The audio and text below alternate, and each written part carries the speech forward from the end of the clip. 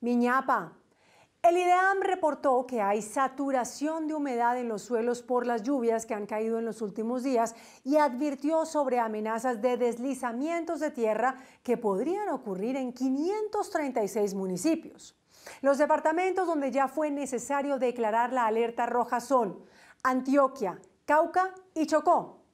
En varias zonas de Boyacá, Caquetá, Casanare, Cundinamarca, Huila, Meta, Nariño, norte de Santander, Putumayo, Risaralda, Santander y Valle del Cauca, se mantiene por ahora la alerta naranja ante posibles deslizamientos. El IDEAM además advierte sobre probables crecientes súbitas en los ríos Nare, Negro, Marinilla, San Bartolomé y San Juan en Antioquia en Risaralda por el río Tún y en Meta en las riberas de los ríos Guape, Ariari y Guayuriba.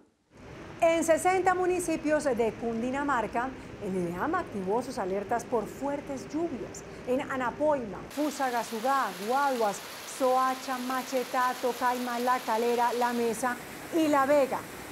Para Bogotá se anuncian lluvias, frío y heladas. Bogotá, Bogotá. Y uno de Cali, ¿ve? Mm.